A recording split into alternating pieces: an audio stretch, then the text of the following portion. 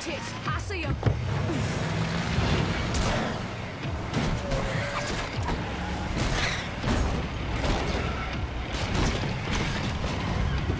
Hey, you have to hit every single bump in the road? Gonna ruin my groove.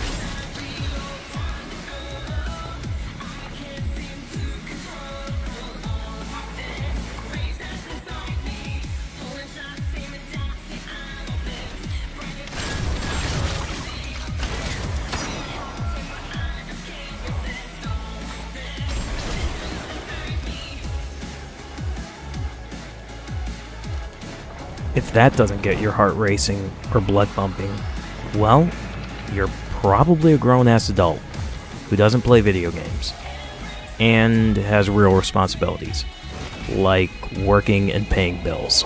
This nigga climbing up in trees and shit, talking about, You don't climb trees? no motherfucker, we got bills and shit. Here's my review for Devil May Cry 5. Since the release of Resident Evil 7 in 2017, Capcom has been on an incredible roll, releasing great game after great game. Devil May Cry 5 is no exception, and I really thought nothing would top DMC 3 as the best in the series, but I can happily say, not only is DMC 5 the best in the series, it may be the most fun Capcom game I have ever played. DMC 5 takes place after the events of DMC 4. Capcom wisely chose to forget about the DMC reboot made by Ninja Theory, which is a solid but misunderstood game. It's just not a Devil May Cry game. Nero and Dante return to save the world from the most powerful demon ever named Urizen that threatens to destroy the world as we know it. They are joined by a mysterious ally named V, who controls very differently than any DMC character you have ever played with. He also looks like the love child of Pete Wentz and Kylo Ren. you start off the game by playing as Nero.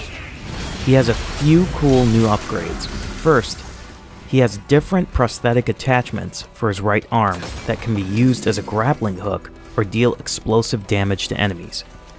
The combat is just like past DMC games. You are graded based on the number of outrageous combos you achieve on enemies. The more combos you land, the higher your grade becomes, and the more red orbs you receive. Red orbs are the currency you use to upgrade your character abilities, and unlocking more moves for the various weapons you'll get throughout the game, just as past DMC games. After you complete the first few missions as Nero, you will get to play as V. He is very different from Dante and Nero. V controls three demons a crow, a panther, and a giant rock monster, and you attack with those demons, not V. V basically stands back and orders the demons to attack while he sits back and reads a book of poetry. Yeah, you heard me right. A book of poetry. I understand why Capcom wanted to shake things up and include a playable character like this, but ultimately it didn't work for me. V plays interestingly, but I feel his controls are way too button mashy. When you reach the halfway point of the game, you finally play as Dante. What can I say about Dante that hasn't been said already? He's even more badass than you remember him. He has a few new toys this time, such as a demon motorcycle that he splits in half to use as swords, nunchucks, and a hat that you chuck at enemies while doing stylish damage with your firearms. Did I mention Dante moonwalks with the hat on? Yeah, this game is more outrageous and fun than the previous outings. There are 20 missions in the game, with 12 optional secret missions that are more like challenge rooms. It took me about 16 hours to finish the game, but I was aggressively searching for secrets in each mission, so expect around 12 to 14 hours to complete the game. For me, this was a perfect length, because you can replay missions as many times as you want to grind more red orbs to upgrade the characters as well as a new game plus. There are only a couple of nitpicks that I have with the game overall. The level design for the missions really gets stale in the last third of the game. There really isn't any diversity. You're just going down a tower the last third of the game, and the missions look very similar to one another. The other nitpick is some of the characters from past DMC games really don't have a lot to do with the story, and they take a backseat. The game is worth every penny though. It looks great, the music in the game is awesome, especially the main theme, Devil Trigger, and it really is just a badass action game.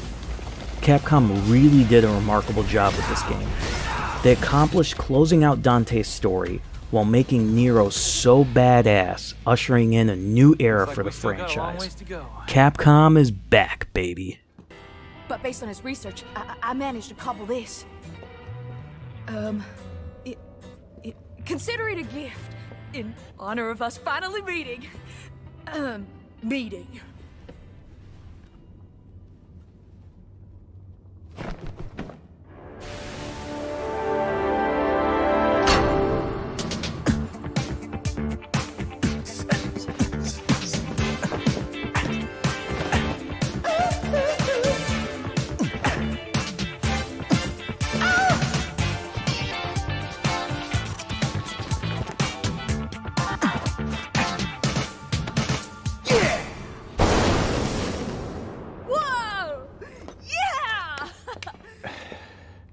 I'll take that. If you like what you saw, like, comment, subscribe, and follow me on Twitch. Thanks for watching.